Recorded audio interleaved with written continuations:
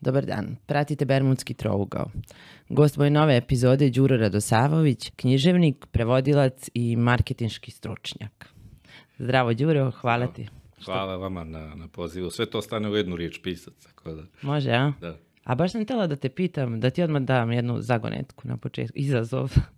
ovaj, što vi kreativci u, u marketinškim agencijama niste sebi smislili neko dobro ime koje dobro opisuje to što vi radite, a bilo bi prihvatljivo medijima da vas zovu. Jer ovako kad kažeš marketinški stručnjak, baš je ono... Pa zvuči malo rogobatno, Da. socijalistički, ali tu, tim se bavio dosta Slavoljub Stanković, recimo prevod kod nas, e, recimo copywritera kao pozicije ili funkcije, bilo bi scenarista reklamnih spotova, ali to nije ni tačno, zato što i pišeš govore, koncepte, billboarde, slogane, mnogo, mnogo, mnogo stvari i ne postoji, e, kad se kaže copywriter, zvuči malo onako...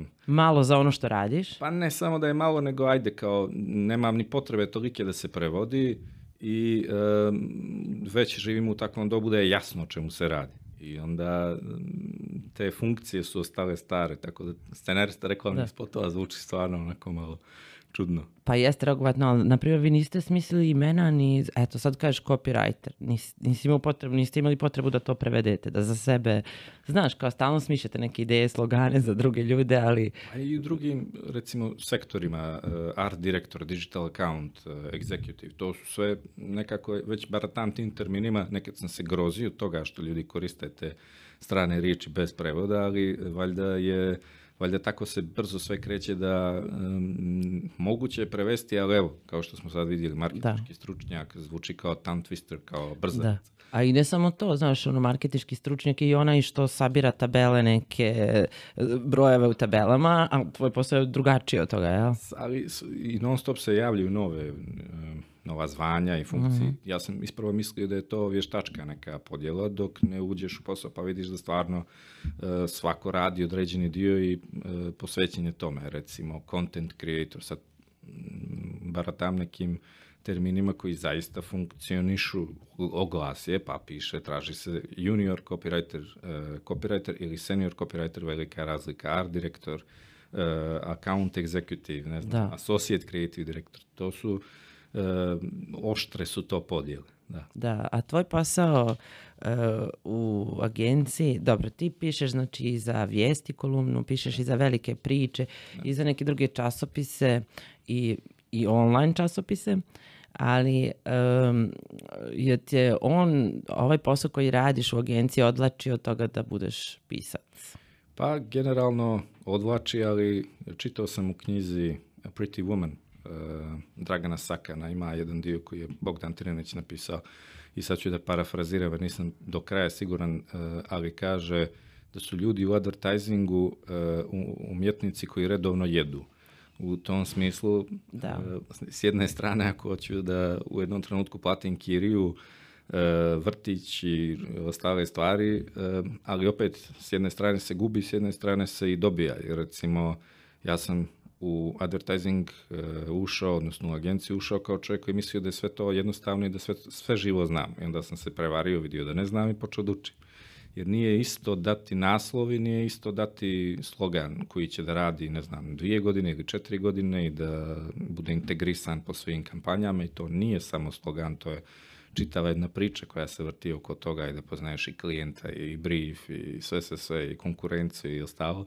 Tako da em, nije me, jeste me odvuklo da mi oduzima određeni dio vremena, ali sam mirniji u nekom drugom smislu. Stalno zapisujem, stalno vrtim neke rokovnike i pišem svašta, tako da pitanje je kad ću da sjednem da napišem novi, da završim, tako, tako kažem, novi roman, jer sam slagao sebe mnogo puta, ali do sad Da, i javno si lagavala. Javno sam, javno sam lagao sebe e, i, i ljude da do ove godine 100% i nije se desilo, tako da ovaj, ne bih da sad e, licitiram sa novim godinama. Hoće tunel ispod suda u Podgorici biti u novom romanu. Pa taj tunel, to je, to je zaista kad prevazilazi maštu, kad prevazilazi, se da je sve, čak mislim da u Podgorici, e, i dalje istražujem to da li je u Podgorici jedina vatrogasna stanica koja je izgorela u požaru. ali dešavalo se svašta. Ali da neko prokopa tunel u centru grada između vlade, suda i svih e, zgrada ključnih za državu i da uđe i da tamo remeti, ne znam, dokaze, izvlači oružje ili svašta i sve ovaj, obesmisli i suđenja buduća i sve, zaista to, to je film. Dakle, to je kao Italian Job. Znači, to je nešto što je jedina šteta što ne postoji dobra filmska industrija da se, da se snimi u tome. Da. Ali prije nego što odemo na Crnu Goru, a i na tvoje romane, ovaj, e, da samo te zadrži malo, da mi kažeš to, e, šta neki slogan mora da se drži da bi se pamtio? Odnosno, šta bi ti, šta ti, koji je po tebi recimo najbolji slogan za koji si ikad čuo? Nebitno da li je politička kampanja. Ja recimo pamtim neka u vezi sa pivom. Ono, volim pivo i pamtim i najgori i najbolji. Najgori je, muškarci znaju zašto, jer ispada žene ne znaju, a ovaj najbolji mi je onaj pivo s ukusom piva, na primjer. Pa, to je, to, taj Ali- sam je htio da pomenem, jedan od tih kod nas je bio taj pivo s ukusom piva, zato što je to bilo kao underdog, taj BIP je bio, Aha. e, nije bio veliki, velika pivara, nije, ima- i onda kad nisi veliki možeš sebi da dopustiš da se igraš. I oni su se igrali kad su svi izmišljali od ananasa do limuna i ne znam ja čega, oni su rekli pivo s ukusom piva, to je njihova ciljna grupa. Meni je izuzetno drag slogan je e, za Mercedes The Best or Nothing. Zašto? Zato što to samo Mercedes može da kaže. Da. I to je, nema overpromisinga, ono da kažeš da si obećao više nego što će da. da, dostave i to je dosta teško opravdati taj slogan, ali to je Mercedes The Best or Nothing. Zanimljivo je da ima u jednoj knjizi najbolji slogani u Americi, pa je slogan za američku vojsku bio Be all you can be. I to je, to je revolucionarno u smislu da ne govori uh, idi ratu ili bilo šta, nego be all you can be, ostvari se ti do kraja. I to su ti slogani koji nemaju veze kon, eh, konkretne sa tim, ali um, mnogo su širi. I to je sad prilično, na, na tom tragu su su slogani. Ima i nekih koji ne znače previše za pam italijanski, ne postoji velika kupovina. Dakle, one kontriraju. Zašto? Zato što im je čitav koncept da kupiš jednu bresku. Spot moraš da vidiš da bi ti bio jas, da bi ti bila jasna ideja, jer je ideja znatno šira. Ili jesi ili nisi lav, to je bilo e, revolucionarno u smislu da je mentalitetska stvar. Recimo to kad e, Jezdić e, kupi televizor od kuma pa mu kažu malo je, on onda pokloni ključeve od kola. U Njemačkoj valjda nisu razumijeli reklamu. Da. Znači na Balkanu je sve nagrade su, su bile tu, ali u Njemačkoj nisu shvatili čemu, zašto? Zato što je to mentalitetska stvar. Valjda nema, Njemac nikad neće dati kola ako ga neko isprovocira, ali Da. naš čovjek hoće. Tako da to su neki, ima, ima briljantnih, eh, briljantnih raznih slogana. Recimo meni, što sam ja radio, jedan od dražih je za onogo što pivo, vratimo se izvoru. Jer to povezuje onogo što je staro ime za Nikšić, eh, to je čerka firma Nikšićkog piva bila tad. Eh, onda eh, izvorska je voda, koja, mnogo, mnogo stvari tu, a zapravo je tajna u e, u sicilijanskoj poslovici koja kaže kad se voda zamuti, vratimo se izvoru. Dakle, e, to što vrijeme sažvaće, vrlo često ljudi koriste kao nešto što znaju, naslone se i e, nađu kao kao Tetris ili kao slagalicu, tačno znaš e, što si. I to mi je uvijek zanimljivo kad me pitaju koliko ti je vremena trebalo da smisliš nešto, ja kažem 38 godina. Zato što sve što si pročitao, čuo, e, prijatelji, vicevi, kafana, e, filmovi, kinoteka, sve to dolazi u obzir da se, da se samelji, da se napravi nešto od toga. Da, akumulira. Mora da se akumulira. u A za politiku da ne govorim, to je već... To Pa je dobro, ajde reci, jel ti najgore ikada ovaj Milo posljednji slogan? Pa Milo, Milo je imao, e, paradoksalno je da je Milo imao super, e, super slogane dok su mu radile beogradske agencije. O, Jesi ti nekad radio za Milo? za Mila, pa nisam nikad, jer to mi je jedan od uslova kad negdje razgovor za bilo kakav posao imam je da ako krene nešto da se radi, da ono što neću da radim u životu je za, za DPS Mila Đukanović.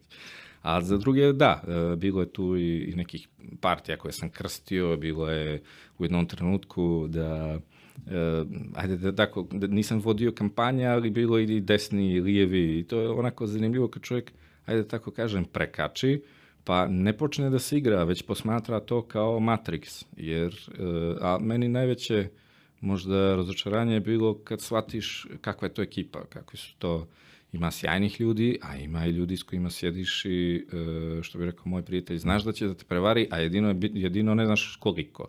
Tako da svega je to. A treba da izvučeš nešto najbolje iz njega i da to plasiraš u javnosti, da privuče to tvoje što si plasirao ljude. sa Imaš tu neke moralne dileme. Pa e, recimo sa njima je veći problem da ih spuštiš jer polete svi i e, uglavnom o sebi razmišljaju onako kako ih vidi rodbina na TV-u ili ljubavnice ili nemam pojma ko. Ima naravno ima normalnih ljudi. Ali ne kažem da su i nenormalni, ali su uzlećeli su. I onda je tu da, da im se objasni koja je slobodna teritorija za njih. Jer svi uđu s idejom e, tapšanja po ramenu, e, popularnosti i onda im se čini to je to. Idemo, osvajamo sve. A čekaj, sad pričaš o crnogorskim ili pričaš o svim? Pa pričam, Mislim, dobro, srpskim crno, treba. crnogorskim je svojstveno megalomanija, mislim više nego obično e, zbog e, manje sredine i lakše, lakše postaneš popularniji, u smislu manje ti treba, treba ti dva odjela i da, da stva- stvarno, mislim da je to jedan od problema, pisao sam o tome, da, da je Šaner i Podgorički su govorili poslije 30. avgusta da nemaju više odjela. Znači, to, svi, jer svi su osjetili priliku da, Da da, uđe u politiku. I, jer pa to je, recimo u Crnoj Gori je problem što e, kad nemaš posla, ti e, imaš NVO i politiku. To su, to su dvije primarne grane. U, u, što, što, Privrede. mo- da, što može, nažalost, i tako, što može čovjek da radi. Tako da, bilo je raznih i situacija i izazova, radio sam i sa štapom i kanapom, nekima sam pomagao samo zbog toga što e, sam im vjerovao u smislu, ne do kraja, ali sam vjerovao da mogu da urade nešto, uradili su, ali Je to jako Milatović. pa da, tih. mislim da, e, to, je, to, to su kampanje neke koje, na koje sam ponosan u smislu da se nešto desilo, da, da sam sarađivao s nekim ljudima koji su i meni dali nadu, koji, i taj slogan ima nade, to je bio moj i uspjećemo, odnosno uspjećemo zajedno jer Crna Gora uspjeh je zaslužila. To su ti modularni slogani u stare stvari. A Jakov, kad smo ga već pomenuli, je tvoj drugar iz gimnazije, ali šli ste zajedno u gimnaziju Pa, ili jesmo, da. Mislim, e, ako posmatramo Cr- e, Podgoricu, e, teško je da nekoga ne zna što bi rekao makar iz rođenja. Ali poznajemo se, poznajem i braću i njega i roditelje i tako da, mislim, u gimnaziju, da, učili smo istu smjenu. To je A i B Da. smjena, mi smo bili B smjena. Da, nismo isto A odjeljenje. to, i to je smjena. sad već poznato kako si pričao da, da je on još u gimnaziji znao da će biti Pa, predsjednik. to je, to, to je iskorišteno kao, e, eto kako, to je otišlo kao vijest, ali zapravo je to godišnjak. To je godišnjak u koji se, mislim da smo mi bili prva generacija koja je napravila taj godišnjak i tu su kao fotografije sa nekim opisima. I sad e, iz svakog odjeljenja je bilo po dvoje ili troje ljudi koji su bili zaduženi za to. I sad pretpostavljam da nije sam sebi napisao da će bude premijer ili predsjednik, nego oni su zbog stava, znanja, ambicije, nemam pojma čega, stavili to i eto, kao da su prorekli, da. da, da, da. To je jako zanimljivo. Ali vidiš, sad je aktualna ta rezolucija o Srebrenici koja, u koju će Crna Gora ovaj, da se involvira aktivnije očigledno. I e, interesantan mi je bio ono, je njegov jedini odgovor na to državni stav je jasan, pitajte vladu, ovaj, vlada o tome odlučuje. A šta ti misliš da je ovaj, zapravo stav Jakova? Možeš da Pa ne, pronikneš? to je nezgodno u smislu, e, sjećate se da je jedan od ministara e, bio smijenjen zbog e, te. To je pitanje više ko potencira nego ko šta treba da kaže. I onda e, ljudi se ili klone e, u smislu e, sklanjaju se ili neće da kažu ili na kraju shvate da treba da imaju neki stav, pa je to stav koji se podudara ili ne podudara. Ono što ja vjerujem toj generaciji političara koja je sad na vlasti, da ne to pitanje da ih ne zanima, ružno je reći da ih ne zanima i mislim da ih zanima, ali da ne znaju dovoljno. U smislu da od njih se traži da e, djeluju. Ne kažem da to traži međunarodna zajednica ili bilo ko, ali su karte tako podijeljene da je nažalost to nešto na što, ako pratimo parlament, insistira sadašnja opozicija, odnosno demokratska partija socijalista uglavnom. I po prirodi stvari, ako oni insistiraju na tome, stvara se i tenzija i e, na, na najgori mogući način monopolizuju jednu temu. E, njegovo, Jakovo mišljenje je njega kao predsjednika vidimo da ne vjerujem da se izvlačio, e, ne vjerujem da, prilič, vjerujem da je prilično iskren čovjek, tako da Ja, to, to je to. Delovalo da se izvlačio, ali Da. dobro, okej. Um, a, ajde ovako, ja sam zapravo najinteresantnije neke stvari koje ovaj, bi s tobom htjela je, imaju u vezi su sa to, tim identitetskim pitanjem kako se ono doživljava u Crnoj Gori, ali također i kako se preliva kroz medije. Htjela bi da mi opišeš uh, medijsku scenu u Crnoj Gori. Htjela bi i da možda uporediš ove dve naše scene. Ali meni se ovog momenta čini da je sa tom padom vlasti Mila ovaj, Đukanovića da se malo eh, polarizovala, odnosno da se atomizovala malo više ta scena medijska. I sad recimo ti pišeš za vijesti, eh, a one su eh, u nekom delu crnogorske javnosti koja će za sebe reći da je građanska, u stvari o tome ćemo možda posle pričati, ali po meni je ona zapravo nacionalistička, ovaj, eh, one su optužene da su prosrpske. Su vest. A to je, da, a to je recimo sa naše tačke gledišta, kad gledamo na Crnu Goru koja stvarno ponekad izgleda kao da je ono hiljadama kilometara daleko, uh, sa naše tačke to je dosta bizarno s obzirom da su vijesti deo United Media grupe koja ovdje je u stvari nešto sasvim suprotno. Pa to, to jeste zapetljano, to Da. bez grafikona ne A bi ja sam sad da baš objavi. uprostila, Pa, da. Ja, jasno mi je, tek kad bih ja sad ispričao, ljudi Da. ne bi ni shvatili, niti bi im bilo dovoljno zanimljivo, ali probat ću da... Uh, moja percepcija jeste da su vijesti bile strašno značajne jer su, da, jer ako posmatramo ovako, da nije bilo vijesti, s- ne znam kako bi se sve odvijalo u Crnoj Gori. U smislu, mnogo ljudi i mnogo puta sam čuo kad kažu, da, da ne kažu idem u sud, nego idem u vijesti. I to ne kažu idem u novine, nego idem u vijesti. Jer su vijesti bile platforma da neko nešto kaže, krikne ili da se otkrije. U tom smislu to, je, to jeste tako. E, trenutna scena u Crnoj Gori meni liči malo na e, postoktobarsku Srbiju. Aha. Jer mi se čini da kao da se toliko ljute određene partije i političari na medije, toliko kao da s- je, on još uvijek, to se, to se ne dešava, ali nije, nije da se neće desiti, kao da svaka partija ten, ima tendenciju da ima svoju, pa- svoju mediji svoj. I e, da se tu prepiru i da, da, da Ali tu se otvara kao neki prostor za slobodu medija ili ne? Više slobode. Pa mislim da se otvara zato što je e, trenutno jeftinije napraviti mediji ili, ili e, oglasiti se ne, i lakše nego ranije. U Crnoj Gori recimo u određenim emisijama novinari dočekaju ministra jednog ili dvoje i onda ga pitanjima buše novinarka i e, novinarka i neko iz NVO sektora ili aktiviste i nešto.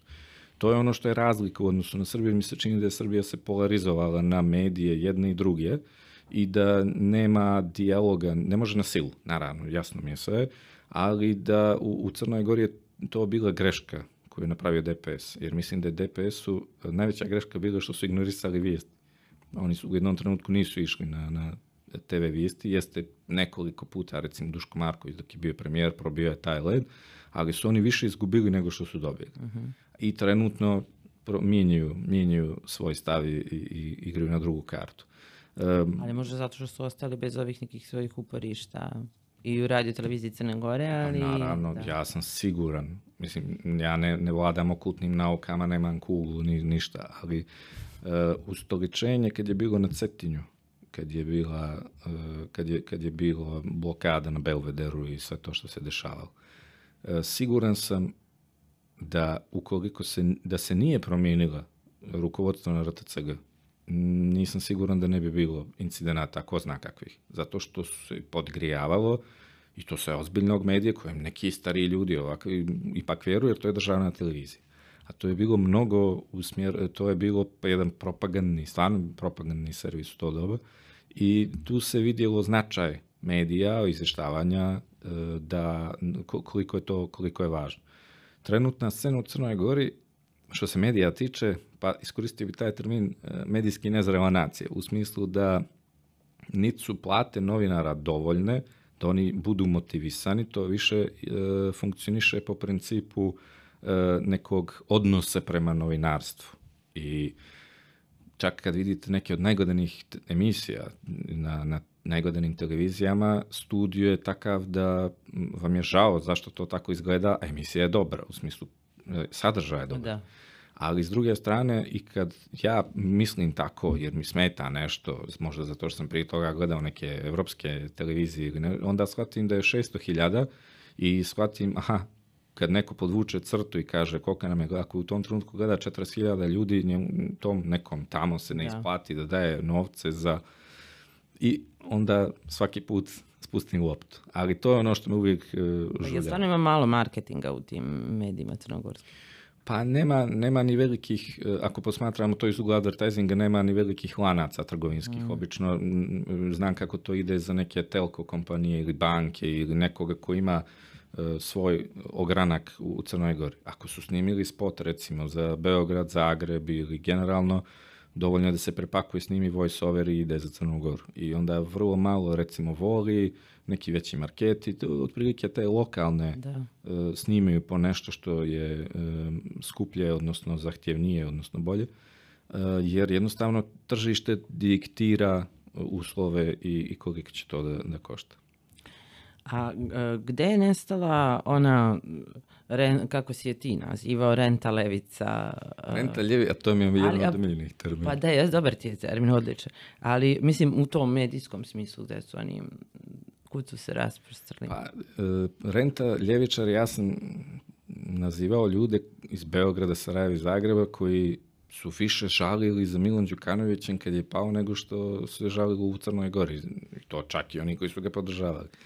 Ja mislim da je to bilo interesno jer je bio je široke ruke i sve je to bilo kako treba, dugo vremena. I bilo je safe, ajde tako mhm. kažem, mm -hmm. to je ta sigurna varijanta da tamo preko ograde neke nešto podržavaš i da budeš cool, jer se boriš protiv, ne znam, njačega.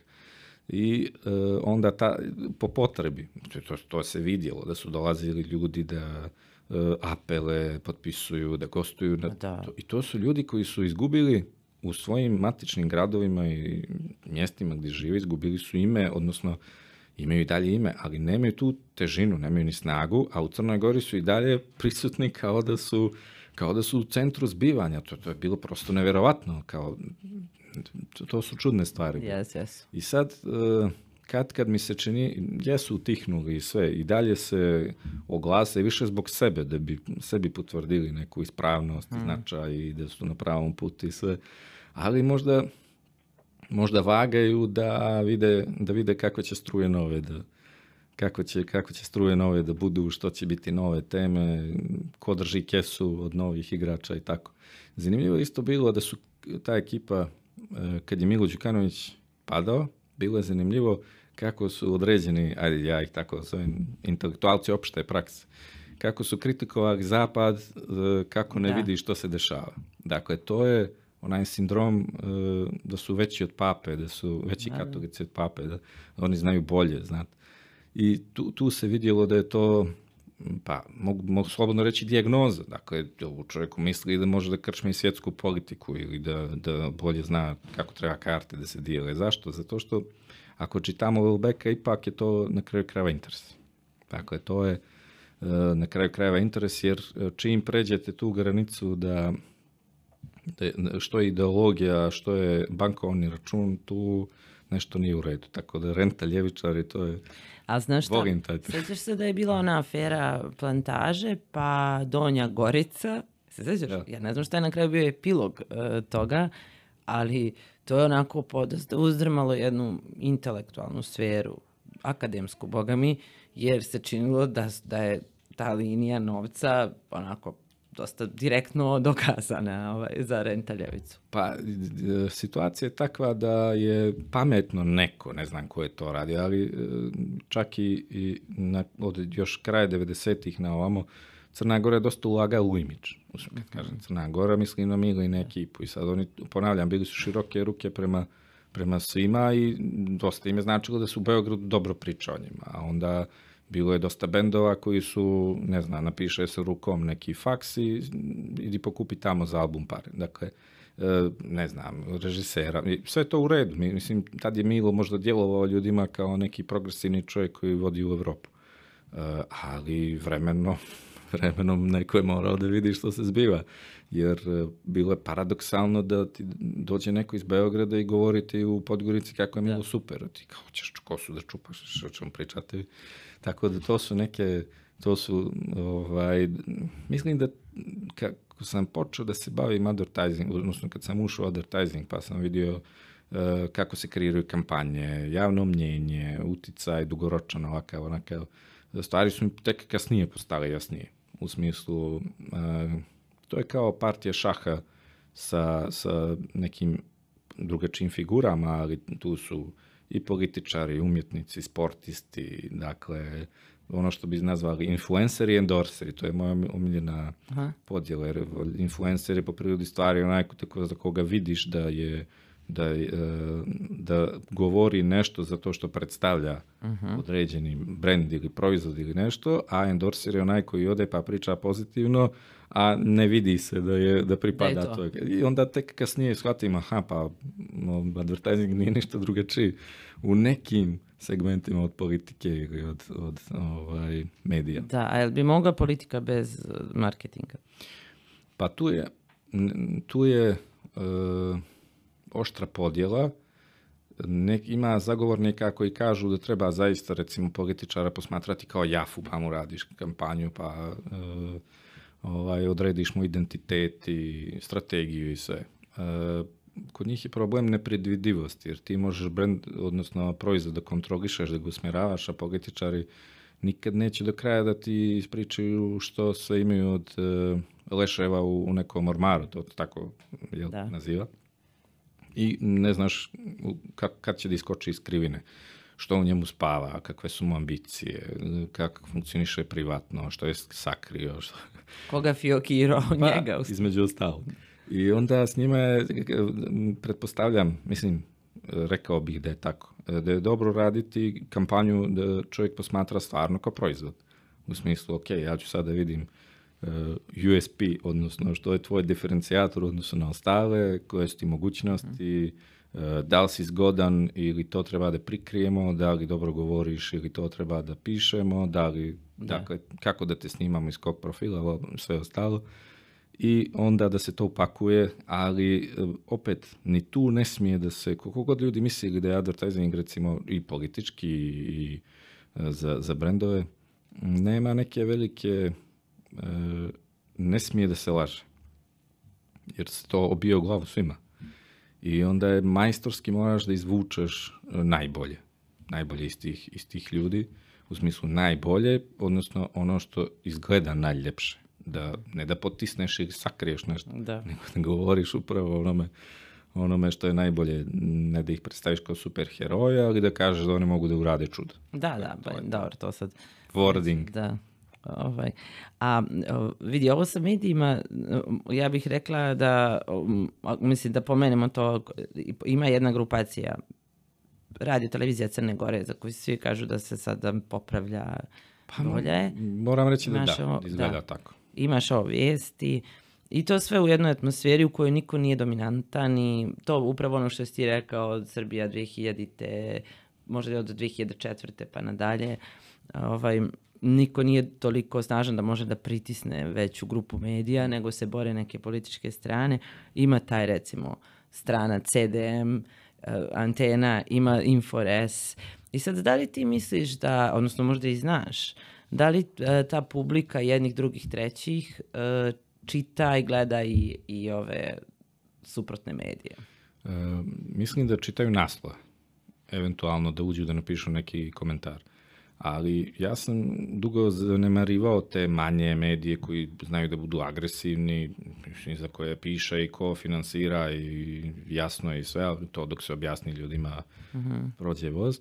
Sve dok se nije bilo nekih situacija u kojima ne iđeš na čitaoce tih takvih ostraštenih stvari koji ili mene ispljuju ili nekoga i to bilo je, bilo je baš onako e, svega i onda vidiš da su indoktrinirani toliko da su spremni na, na svašta. I onda, tek onda shvatiš da, da to radi posao. Ne znam, tome ko je smislio to ili ko je organizovao to ili ko finansira to, da to nije tek tako. I to su, to su opasne stvari. E, pritiskati te neuralgične tačke je e, u Crnoj Gori lakše, čini mi se, e, ali da je sve splasnulo posle određenog vremena. Recimo, posle 30. avgusta očeki, čak i Dritan govori o toj relaksaciji određeni političari, e, zato što vidjelo se da je to jedan napumpani balon koji vještački je neko pumpao sve to. I sad kako polako izdušuje, vidimo da su tenzije splasle, da ne postoji, čini se da ne postoji neka afera koja bi sad e, napravila čudo u Crnoj Gori. I hapšenja i bilo, bilo čega da im se kaže, ne znam što, ne može da se, da se desi. Druga stvar, e, i ti kolumnisti koji su bili odjednom poplava svih koji su govorili nacionalno ovako onako i to je njava. Oni se sklanjaju, napišu tu i tamo po nešto, ali više onako što smo i ranije da. govorili, da bi dokazali da i dalje imaju neke ideološke da, da. crte, a ne da, da su tupili samo zbog para.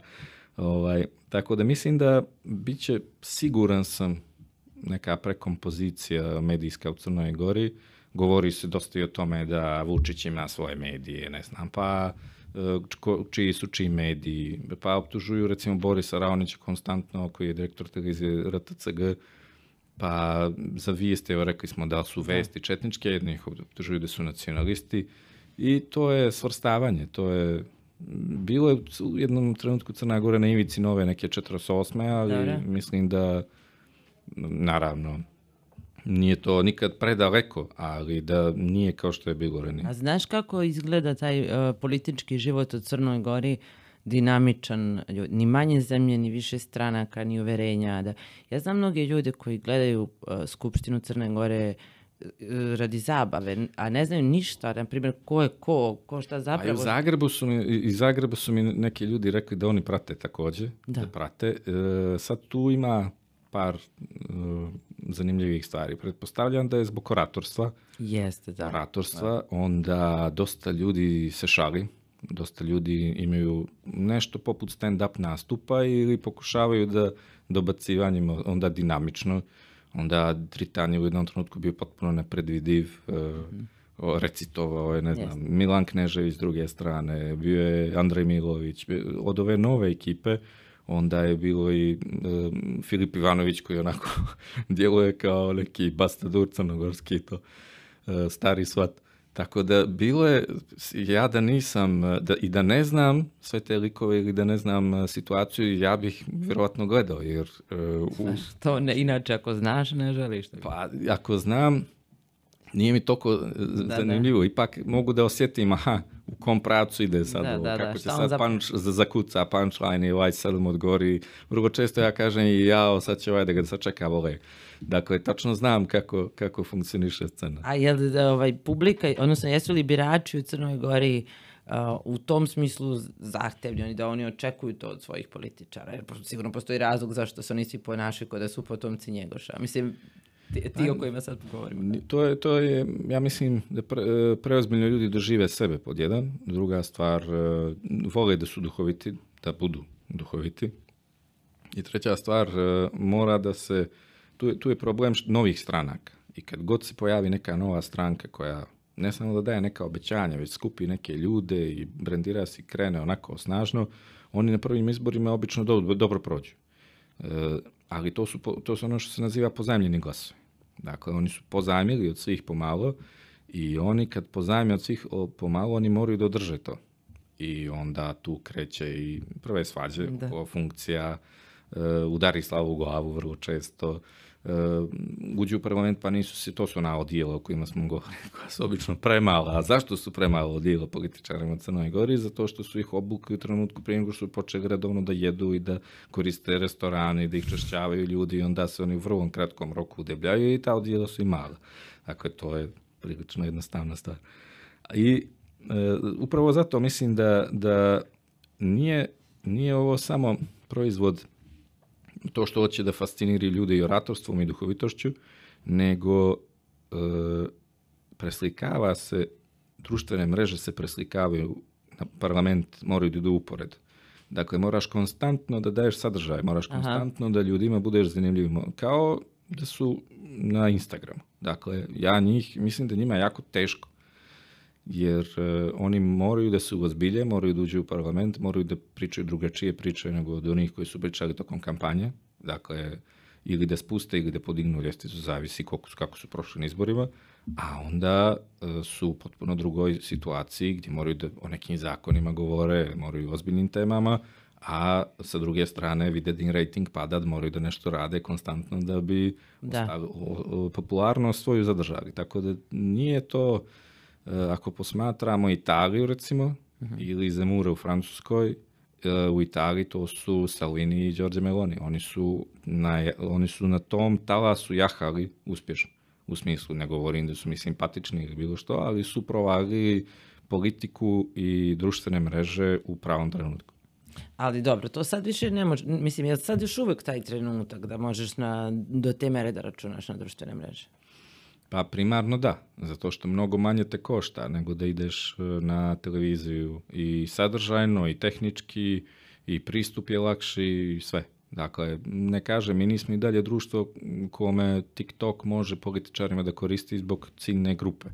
Ali kad se pojavi neko ko će da iskoristi to od 18 do 25, ove koji su prisutni na TikToku, uopšte nije isključeno da može da uđe u parlament sutra. Tako da to... Ili će sad da ih ovaj, indoktrinira pa kad dobiju pravo glasa, znaš? A to je između to, da. društvene mreže su strašan medij koji ljudi, zanema, ljudi e, gledaju na njih kao na nešto prolazno. O- oni će se mijenjati tako što će da dođe neki Da. novi. Ili će da se unaprijedi, ili će da se spoji.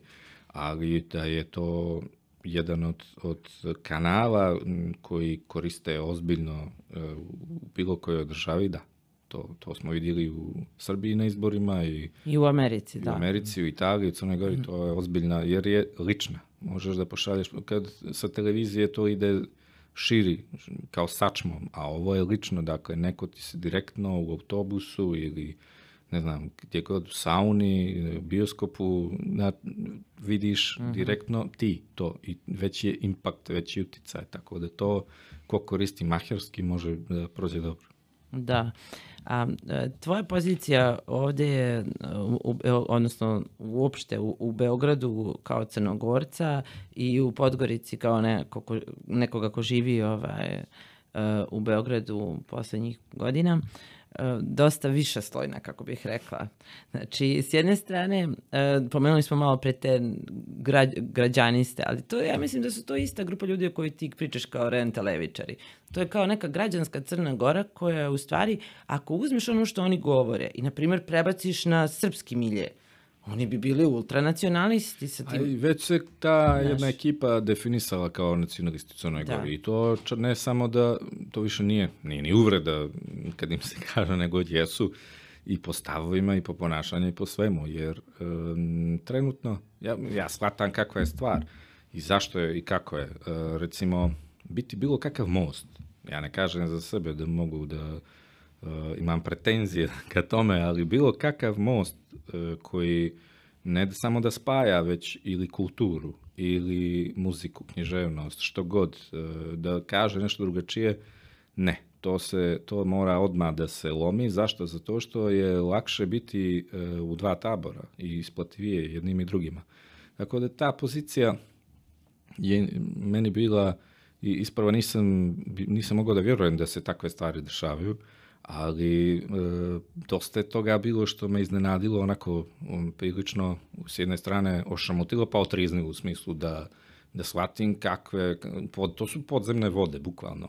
Da, ali vidiš, e, iako većina građana Srbije i Crne Gore misli ili da smo isti narod ili da smo toliko slični da smo gotovo isti narod, ovaj, ti sad pričaš što e, ne može, most ne može da postoji. Znači, postoji politike koje su izabrali građani, ali koje i dalje režu ovaj, taj... Pa to je pitanje, ali- to je pitanje, ja mislim da su to stvari koje, koje e, su se gradile godinama i e, čija demontaža isto također treba da traje godinama. Ne možete, ako je neko insistirao na, na tom, e, a neprijateljstvu, dakle, neprijateljstvu, ja se sjećam da je, da je moj sin imao jedno čet, pet godina kad smo bili u Crnoj Gori nešto pričamo o politici, naravno, jel, u kafiću, ja i prijatelj, i on je tu i on kaže, a zašto Srbija hoće da pokori Crnu Goru? Mi kao, odakle ti to ču na TV-u? Ali, jer zašto je to tako? Mi to ignorišemo. Ti to čuješ, ignorišeš, kažeš, ma ovo su budalaštine ili e, prenagljivanja ili tumačenja tendenciozna, ali to neko drugi upija. Da. I to će da upije i neka druga, starija generacija i mlađa i ovako. I ne znaš sutra što sve može da se desi. Dakle, e, ti vidiš da su određene institucije funkcionis, nažalost funkcionisale tako. I e, u, toj, u toj konstelaciji kad god želiš da kažeš nešto što nije takav mainstream, e, budeš trnuoko. I onda ne mogu da, ne mogu da shvate, recimo meni se dešavalo mnogo puta, kao što stavljam evo sad za ovo da će da bude, da, neko, da, da se pitaju ko gura ovoga momka. I ko ti je, ko ti je vetar u leđa. Jer, A ko te gura? e, ne može da neko shvati da tebe sad nije neko Da. nazvao i rekao, aj, moraš sad da pozoveš Đugravu. I to je tebe fantastično, jer to, je, to se graniči sa onim e, najboljim što je pisao Duško Kovačević. I vidiš da to postoji, da spava i taj profesionalac i balkanski špijun, jer aha, ne možeš ti, ko je tebi dao za pravo da sad, da li si e, socijalno, socijalno inteligentan, zanimljiv ili ne znam, talentovan ili e, lud, dovoljno da ti to treba jer drugi te pitaju što će ti to u životu, a ostali misle e, kako to. Dakle, Da, da. Tako da bilo je, bilo je takvih situacija. Pa znam, ali gledaj, ti si ovdje recimo, kako bih, ako bi sad mogla nekako da te grupišem, deo nekog miljeja, koji bi geografski trebalo da je u stvari druga Srbija, je li tako? A onda, pa ajde, ali e, šta si ti u stvari, e, šta bi ti rekao, ko je u Crnoj Gori druga Srbija? Pa u Crnoj Gori to to ne može da se kaže upravo zbog ovoga, jer je nacional, bilo je obrnuto u smislu nacionalizma. Znači potpuno okrenut, izokrenuto. Da. I onda je kao u ogledalu. E, Ljudi koji su se predstavljali za evropejce su govorili užasne stvari koje baš e, protiv Slobodana Miloševića 90-ih konstantno govore ljudi koji ako, ako transkribuješ i napišeš ono što pričaju, vrlo ćeš da nađeš sa nekim ljudima iz 90-ih s- is- identične stvari. I onda to je više miješanje ideologije i ikonografije, kako se ko predstavlja ili kako što ko radi. I ja sam naučio zaista od ovoga jednog prijatelja da treba posmatrati kako se ko ponaša, odnosno šta radi, a ne šta priča za sebe. Pa dobro, ali onda tako gledano i ovdje se okrenulo.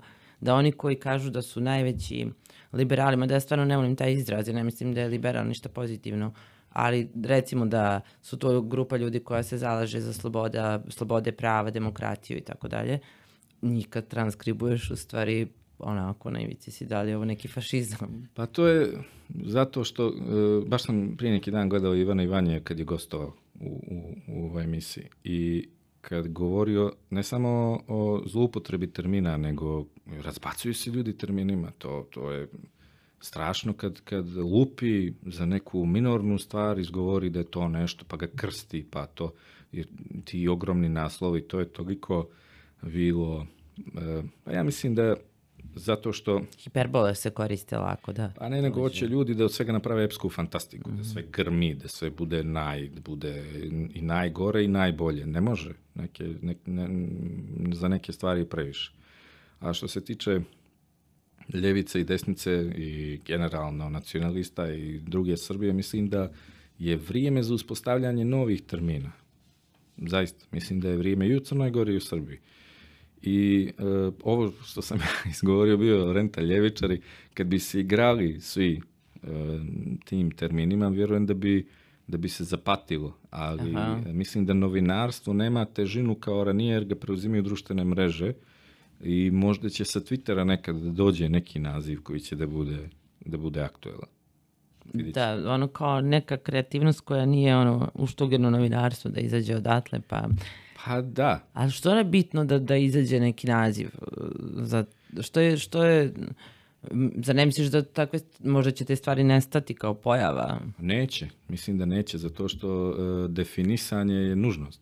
Dakle, e, da bi nešto ostalo i da bi postojalo mora da se, mora da se definiše. Ja sam recimo, e, između ostalog, ne samo zbog toga, e, naslov knjige moje, Crnogorski roman, ja sam tvrdio da sam ukrao nacionalistima naslov. Zato što mi je bilo stalo da e, da, da ih isprovocira makar na neki način.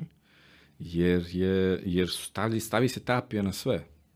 Znaš, pa hoće da ti uzme, ne da ti uzme, da ti, da ti oduzme, nego da zauzme sve za sebe što i ti misliš da je, uh, da je dio svih, da svima pripada. I kad ga uzme, ne samo što ga uzme, ga uništi, to, i onda ti bude krivo. I to se zove trovanje bunara. To postoje, eto, postoje termini Da, za, da. za, za takve stvari. I um, interesantno je recimo da je jedna struja funkcionisala samo dok je bilo novca. To je strašno kad čovjek vidi to. Da dok ima, da tu grmi mikrofon i kad nema, da, sve, da, da to stane i onda, i onda je čovjeku ružno, ružno biti dio svega u smislu da, da, da vidiš te ljude na ulici sutra. Kao, kao u kumu kada Raj kaže it's only business, nothing personal, it's only business. To kao, vidiš da ljudi su to neki shvatili ko posao. Politiku. Ili, Pa i politiku i napadanje i sve, Da. šta god. Dakle, Da. šta, šta, šta nije u redu, pa to je, tako je, igramo se. a kako tebe napadaju? Pa, Zbog ovog što sad radiš u Beogradu, na primjer.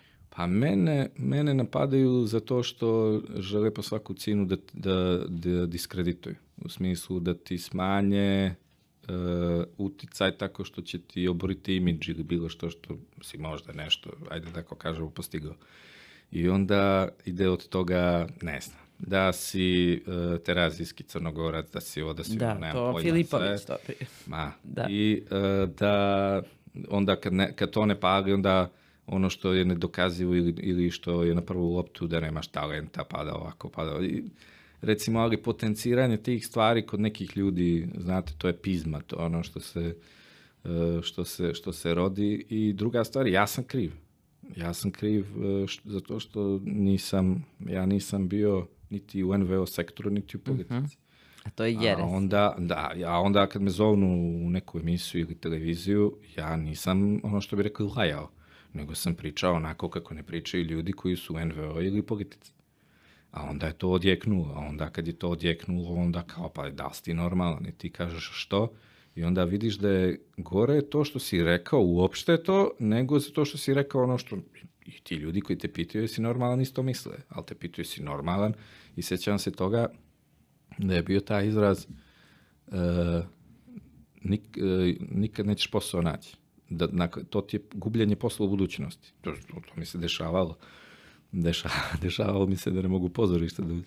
Ali, Što da ne uđeš u pozorište? pa zato što, je, što sam e, kritiko sa neke predstave ovih e, dvorskih režisera i onda je bilo kao e, te, te karte su se dijelile, neke banke su bile sponzori e, predstava i onda, kako je mala sala i malo, malo društvo i sve, onda se sazna gdje sam ja sidio, ko me puštio na premijeru, kako je ovaj ušao tamo.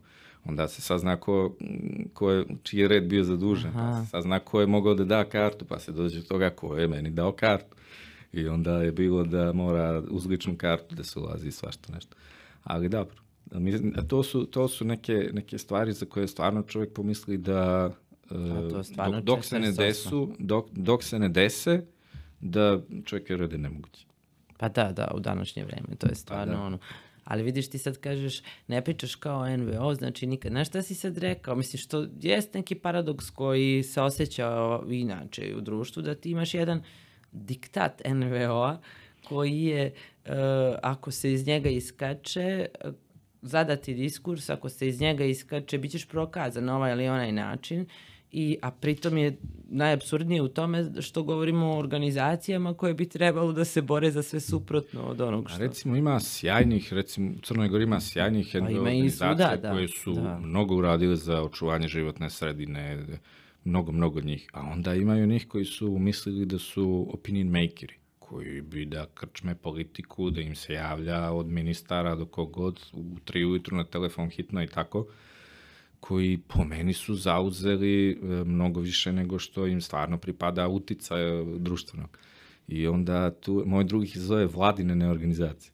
Pa da, ali to nije slučajno. Da, e, da. Bima, to je, e, ima, ja mislim, 50-50, ako posmatramo tako. Ima NVO za e, prava žena koji su radili izuzetan, važan posao, ima za očuvanje životne sredine, ima nekih ljudi za kulturnu baštinu, ali ima i ovih koji su, su dobili neke, neka reflektora da ja zaista ne znam šta oni rade. Međutim, uh, i to je, meni, meni je kod njih problem samo zato što oni tačno znaju do koje granice mogu da idu i ko će sutra da im valja i ko, s kim može da se, s kome može da se zamjeri, kome ne može da se zamjeri.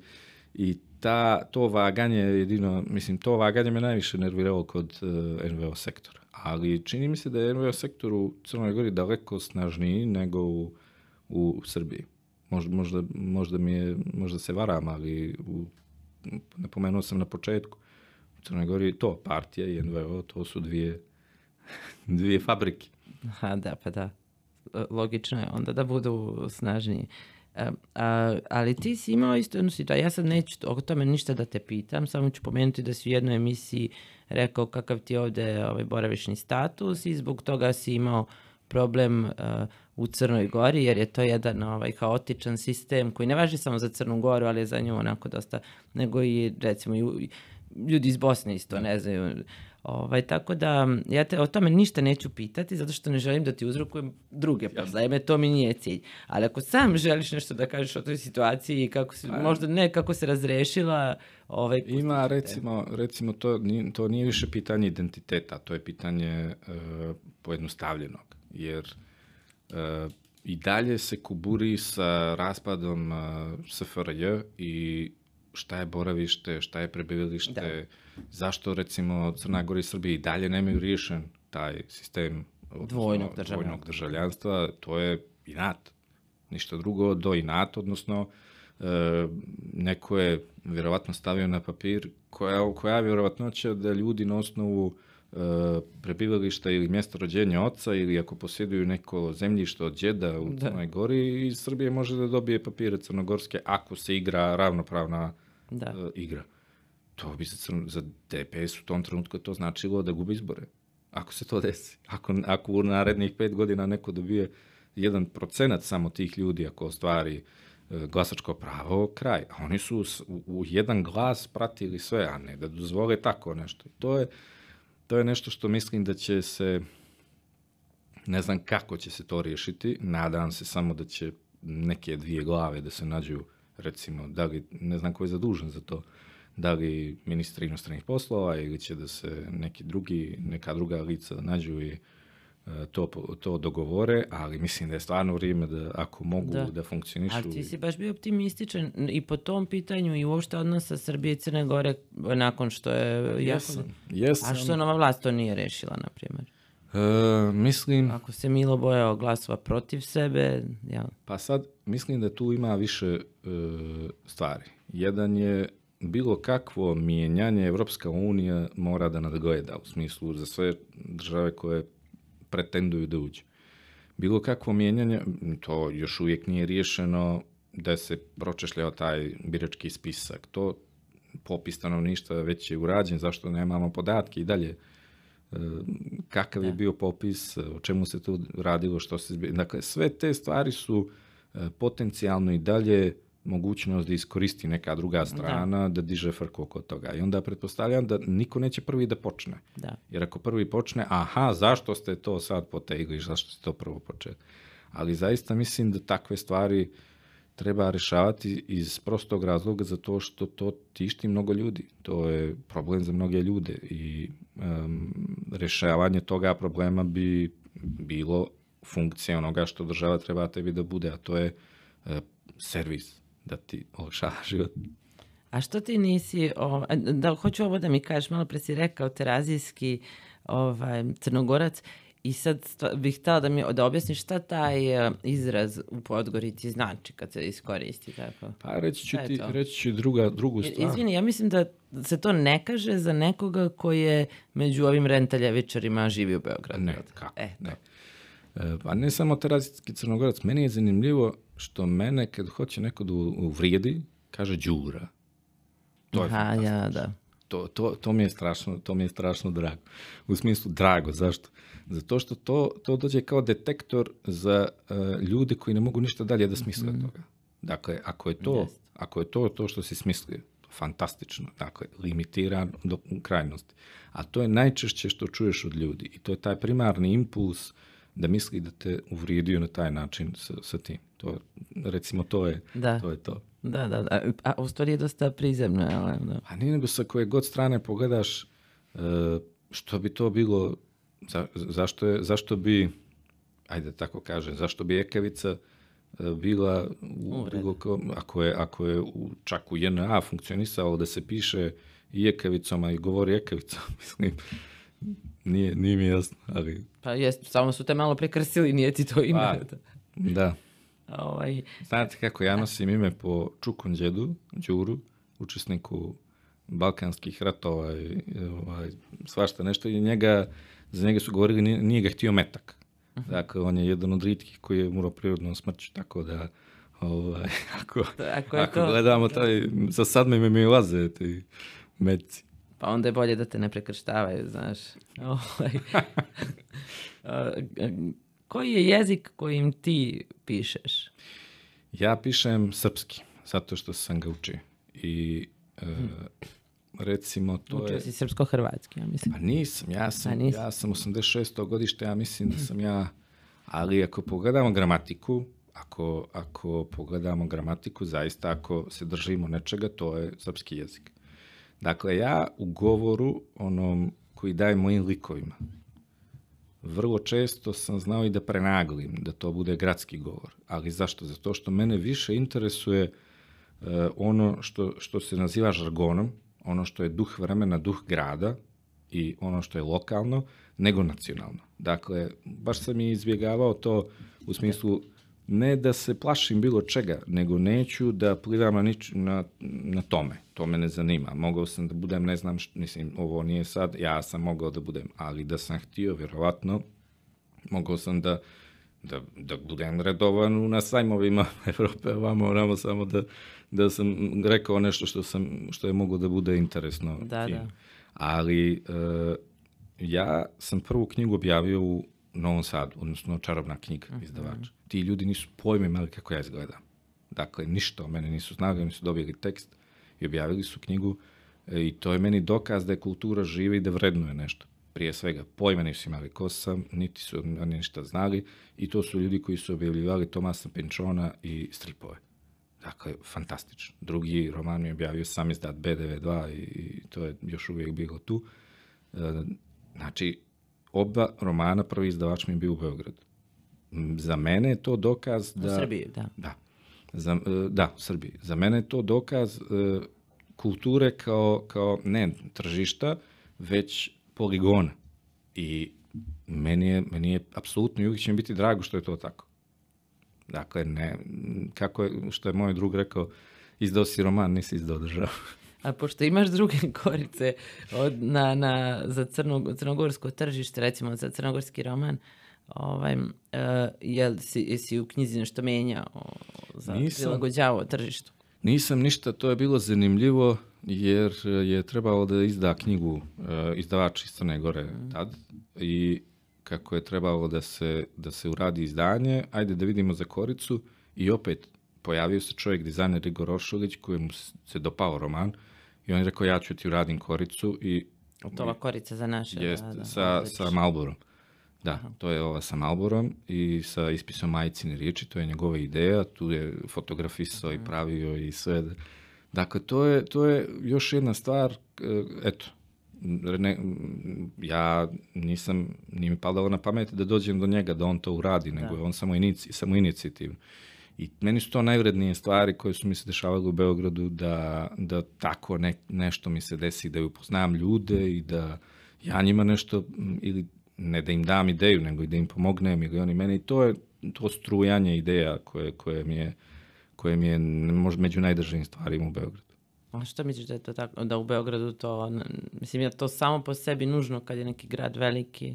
Pa jeste, možda ja volim i Podgoricu, ja mnogo volim Podgoricu, to je moj grad, ali e, ima tu, ima on taj stih Vita Nikolića, svi cvjetovi ostaće bez glava da bi bili sa travom u skladu. Možda, ajde tako kažemo, Podgorica, Split i, i e, Mostar imaju otprilike tu sličnu foru da nećeš ti meni iznad Da, mene. da, da.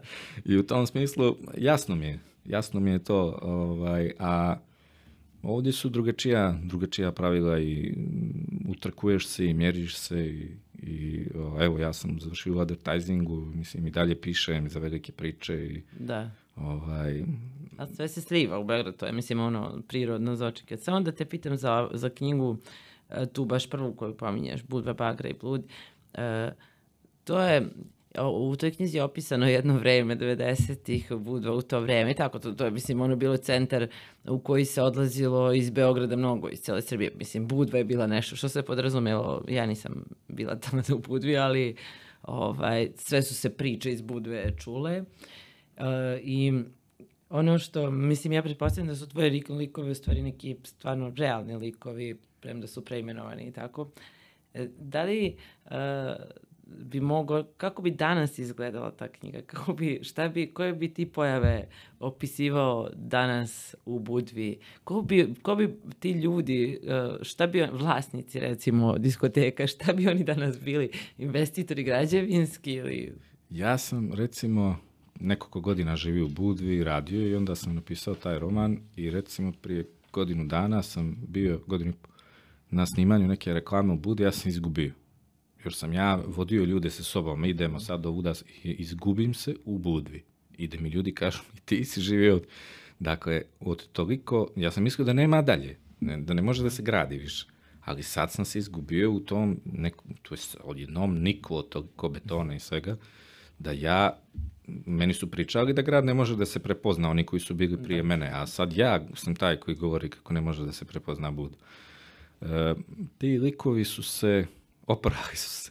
Mislim da su se A oprali. šta su oni sad, naprijed? Pa mislim da, da oni e, na veliko Gospoda. zgrade rade, da, da idu na skijanje zimi i da uživaju. Mislim da su se oprali vjerojatno i novac i sve. Ovaj, ta budva je čudna, ima i taj vic kako e, šetuju dva budvanina, jedan je iz Nikšića, drugi je Rus. Ovaj, jer toliki, toliko je ljudi došlo i to je okej, to je sasvim u redu i ta živost grada je postignuta, ali e, promijenio se potpuno u, u, u vrlo kratkom periodu nekoliko puta. I to na moje oči što sam ja bio u prilici da vidim i sad ja nisam, nisam tek tako mm, neke svoje, bilo je tu nekih mojih prijatelja, njihove citate, rečenice, ali ja ih pustim da, da se igraju. I od razne karaktere, više sam hvatao karakter. A se neko ljutio, se neko prepoznao tu? Pa bilo je, bilo je nekih za koje sam ja mislio kad su se prepoznali da neće biti dobro. Međutim, njima je imponovalo da ih uvjekovječiš, da su oni tu. Aha, super. I e, jedan me pitao, e, dobro si, dobro si napisao, ali mi nije jasno kako si znao nešto što nisam nikome rekao. Ali to je vjerovatno da mu, da mu provališ kako sjedi, kako mm, opažaš ga i onda, onda ga naslikaš. Bio je taj kapetan Žan u, u knjizi, koji je govorio nekoliko jezika, koji je bio meni simbol toga grada koji je, nije samo država, kad je država propala velika i ti pomorci su bili ostavljeni na vjetrometini i oni su onako živjeli usput, da tako kažem. I on je bio jedan od tipova koji je obišao pola, ne pola svijeta, čitav svijet. I kad priča te priče, to je bilo fantastično. I ja sam njemu predvidio nekako nastavak njegovog života u smislu da kasnije kad su mi javili kako je on umro i što mu se desilo, se ja malo, nije mi bilo dobro. Ali, jer kao, to je kao baš kako je opisano. Da. Ali što je tu poenta? Poenta je da možda nije mogu drugačije. Da je takav život kad neko živi, to je bilo i realnost. I sahrana i ljudi, i kako su ga našli, i što se desilo. Da, u stvari ti uh, iskustvo pretvaraš u intuiciju i onda... Pa zapravo, da, kad vidiš takvog nekog čovjeka, on je odan tom svom životu kakav god daje. Da li je to više alkohola i, i da ne pazi šta jede i kako spava i kako živi. I onda ne može da se odmota drugačije ako, ako se nastavi tako. A ti vidiš da čovjek koji je obišao pola svijete, koji je vidio svašta i komu je bilo super i koji je sad tu ovaj, ne plovi više, da mu je svejedno, tačno znaš kako će to klupko da se odmota. Samo što eto, bi, malo sam se iznenadio. Da, da. Ali bilo je tu fantastičnih likova. Sigurno ne kao Nele koji je predvideo datum Dejtonskog sporazuma. Da, to, je, to, je, to je previše. Da, to ne mogu. Ali jel ti inspirativna bi bila Budva sad da pišeš?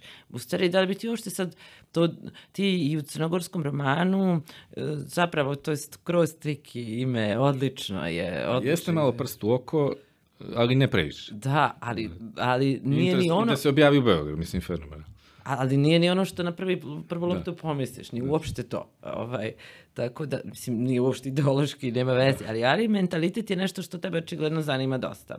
Ovaj, Pa ja sam je sad- ti nešto inspirativno? Ne bih nikad pisao neku, na, Budu sam zaokružio. Zaokružio sam, uh, ajde tako kažemo, i, i Crnu Goru u smislu to, sa crnogorskim romanom, sa tom temom. Ono što mene okupira trenutno jeste migracije. Moji su, moja porodica velikim dijelom 905. otišla za Ameriku. I imam ta pisma, konverzaciju Los Angeles, Crna Gora, spektakl. I onda i fotografije i sve. I onda bih tu da rekreiram ta četiri brata, kako su živjela, kako se dopisivala. Jedan je poginuo na Bregalnici, drugi je poginuo vraćajući se iz Amerike pod Medovo, prvi svjetski rat i onda su stala ta dva brata koji su dopisivali. To, je, to mi je neka tema koja me okupira u smislu da, da vratim neki dug, u smislu ne, ne želim sutra uh, Jakšu sina moga da smaram pričom svaki dan da bi nešto ostalo, ne, nego evo ti pa čitaj ako ne stiš, ne moraš. Ovaj, tako da, da neki dug porodični da vratim, a drugo je, Trst me dosta zanima kao grad. Moja sestra živi tamo već dugo i dosta putujem tamo. Mislim, kad putujem, obično, obično odem tamo. I onda i te palate, i Gopčevića, i Trpkovića, i Ivanovića, i e, ne samo da bih se bavio tom stranom, nego bi to, to bi onako kao bilo posoljeno. Da. Svi ti ljudi. Jer e, srpsko groblje u Trstu, to je, to treba vidjeti, to je muzej. To je muzej kad, se, kad, kad vidi čovjek te spomenike, mi nemamo na novom groblju tako. Da. Ja mislim da u smislu umjetnosti, u smislu e, kako to izgleda, mi nemamo tako. I tamo je izgleda bilo neko ozbiljno čvorište i neki ozbiljni naši ljudi e, iz Boke, iz Da. e, Mostara, iz Sarajeva, iz e, cijele Srbije, iz, dosta iz Crne Gore, ovaj, iz Hercegovine. Dosta Pogledaj samo crkvu on, u centru da, grada. da. O, I tamo, tamo ima, ima nešto što me strašno tu privlači. E, u smislu, to je možda, možda i zato što je to grad koji je, ima planine, ima more, a dosta je mirniji od Gore. I, o, More malo nije za kupanje, ali da. a dobro. Ovaj, tako da to, to su mi neke, neke teme koje bih, koje bih e, kad bude imao vremena, Da istražuješ ovaj... e, pa ne da istražujem, ja to dugo radim na tome. Da. Dugo radim na tome, imam i rokovnika, i koncepata, i stranica, i svega, nego ja spadam u one pisce koji nikad ne sjedne pa piše da vidi nešto gdje će da ga odvede, nego imam, to je užas u smislu ispisa, e, likova, karaktera, svi imaju ime, sve znam kako šta treba, samo treba, Dobro, ali kako onda... treba da skrojim to. E sad, na primjer, ti si čovek kao, koji radi u agenciji, mora da prati sve trendove, to smo sad pričali o društvenim mrežama i to, a pišeš u rokovniku. Sad si me, ja sam recimo, ja bi od tebe očekivala čak i da čitaš ono knjige sa čitača. Ne, ja pišem u rokovniku zato što e, lakše mi je da švrljam, lakše mi je da povezujem. I, i Mislim, ja, meni je lakše da čujem da još neko piše u rokovniku. Ja ih jedem. Ja mislim da ja jedem i rokovnik. I ja kad recimo hoću do nečega da dođem, kad pišem sinonime, antonime, kad e, pravim, kad neku riječ lomim, kad, znači, to je, to je, nadam se da neće moj rokovnik niko nikad analizirati od ovih ozbiljnih ljudi. Dakle, tu ima baš svega. I onda ja tu kad dođem do te jedne rečenice, do finala, e, dovoljno mi je da je iskoristim i da je imam tu zaokruženu dva puta i da se vratim i kad otvorim da krenem da pišem i to je to. Tako da u tom smislu tako koristim rokovnik. A šta, ima još jedna pava za koju sad si me podsjetio. Pisao si ovaj, tekst o tome da, ne- da ne treba kreativci u agencijama uopšte kinjiti zato što probijaju rokove, ne, ne poštuju vreme, nego im treba samo dati kao te bele laži za... To mi je bilo dosta zanimljivo zato što koristiš taj izraz koji je u stvari medicinski prokrastinacija. Da. Ali ovaj, i to odlaganje. Sad, šta bi ti rekao čoveku koji ima tako fluidan posao, ima više poslova, treba da piše i neki roman, jer se to njega očekuje, a verovatno želi, i ima tu sklonost uh, odlaganju. Ja bolje za njega da se u životu što pre organizuje i da nađe neki posao 9 do 5 ili da šta? Ne može da se čovjek na silu organizuje. Ja mislim da e, imam 100 dana, 100 strana ispisano na zidu. I tako neke mikro stvari. Trudim se da ostavim jedan dio dana za, za to, koliko mogu, pa koliko god to bilo. Trudim se da, da gledam na TV-u svašta, da razne budalaštine, ne u smislu da zašto? Da bi našao neke ventile. Kad dođem kući e, nakon e, posla, pa judo, pa kupim klinice škole, pa mnogo takvih nekih stvari i onda e, sam sebi se ponekad čudim odakle mi energija sad da vidim još nešto. Ali mislim da je to ljubav, da to e, zanima me. Zanima me da, da se igram riječima, da stvaram, da, da pravim nove priče, da ispričam priče. Kad kad me, e, kad kad me ponuka po nešto, evo recimo sad, skoro sam ispričao, pa sam vidio da su ljudi kao ovako krenuli glavu, kad je moj djed umro imao neki arhiv tu, obožavao da piše, da traži da se asfaltira ulica, da se stavi ležeći policajac, ispravi ovo, ispravi, inače to, to su papiri, to je velika korespondencija sa državom i aparatima.